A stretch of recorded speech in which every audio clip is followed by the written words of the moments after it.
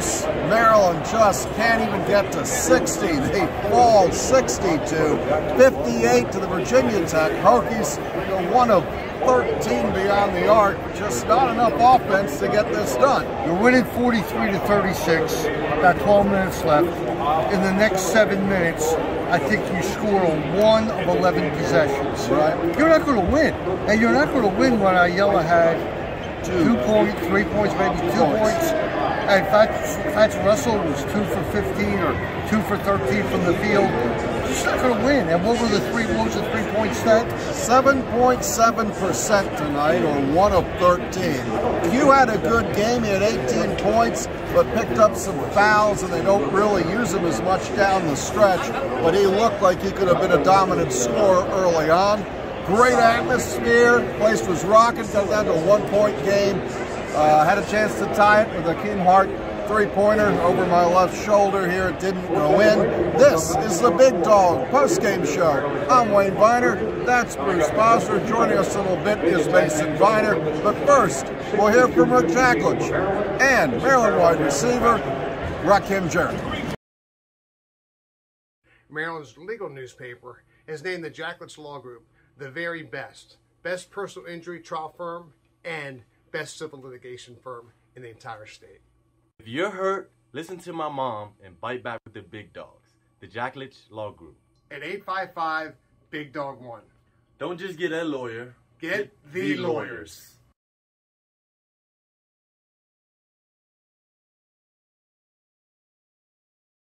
Back here on the floor at Xfinity Center, Bruce, you said this wasn't going to be easy. This has not been an easy run for the Maryland Terrapins over the past week or so. Look, this team lost by eight points to Memphis. They were in it total time. Then one point to Xavier. This team. This team. This team. Not Maryland. Virginia Tech. That was only two losses. It's very respectable. But they don't have that. They don't have offense. Their defense is fine. I mean, they're fighting and scrapping, and yet, you know, they needed that layup by Julian Reese. Oh, it was a killer when he missed that. I think I would have tied it. I, I think so, yeah. Right. Look, we lost. It's nothing you can do. They're now five and three.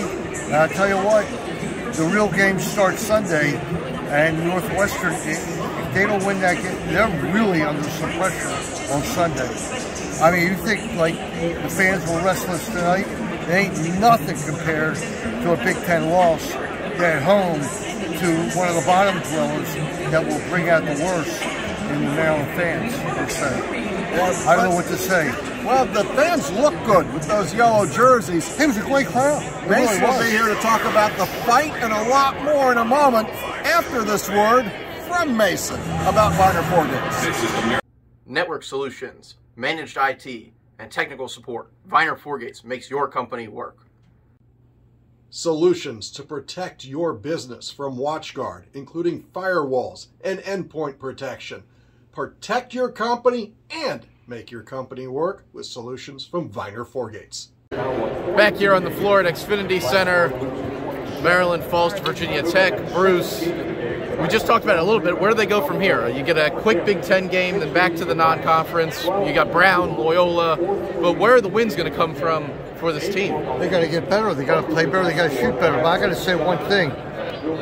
Mason used to be up on here to be, you know, he used to be this tall. Look at him now. He's towering over me, Wayne. He's am a I, big boy. Am I shrinking or is he growing? A, little bit both. of each. A little bit of both. Listen, they're not playing well. I don't. It doesn't take a, a rocket science to say that. When you score 58 points at home and you shoot, they had 42 percent, but they had 15 turnovers. You, you, put all these numbers together, it's miracles that they're even in the games. Defense is doing it for them. But I really want to start seeing more Julian Reese maybe in the starting lineup, maybe for Hakim Hart. You gotta shake it up. You gotta do something because the status quo is not getting it done, in my opinion. No, and I think Maryland is is really killing themselves. And the guy that I'm pointing to right now is Donta Scott. He's just not getting it done. He's taking some bad shots. Maryland, Bruce, back in your day in like 1960 is probably a great team because they can't make a three. Everything's coming from the inside. They got a couple big guys that can really play. But look, the reality of it is you're not winning games making one three pointer. Well, you know what? We're not, we're not giving one guy a lot of credit tonight, and that's Qudus Wahab. I think he was like seven for eight from the field or somewhere in that vicinity. He played just stupendous. And Ayala, if he has any kind of a game, they win this game easily. Maybe it was the defense they put on him. I don't know. But you're not going to win any games the rest of the season if Ayala scores two points. All right? It's not going to happen. Before we go, I want to bring up one thing to Mason. Football. Speculation continues here tonight. Your guess right now where they're going to go. I still got the quick lane bowl, Bruce. I don't really think that you can say much else now. We'll see how things shake up this weekend. Uh, it's a big weekend for this conference. You know, they really, for the Big Ten, they need a Michigan win. And you know, you guys mentioned the crowd here. Quite, quite the aggressive atmosphere. Kind of reminded me of an old Maryland game. A couple of fights breaking out in the crowd. A couple of people getting arrested. Uh, it reminded me of like 2008 Maryland back in the days of the ACC. A lot of Virginia Tech fans. Here. Yeah, it, they really came alive when they took the lead late. But how do you Maryland 43-36 at home? They never lose a game like that. Really, almost to anybody. What they did tonight, tonight, and, and they did on Saturday. And they, well, you know, Saturday they did have a lead toward the end. Uh, Big Ten is still going to win the, the ACC challenge, but right now I'm not worried about that. I'm worried about my Terps. Yeah, Terps fall to one in seven uh, in the ACC Big Ten challenge. And what's the score? Uh, we lost 62-58 tonight.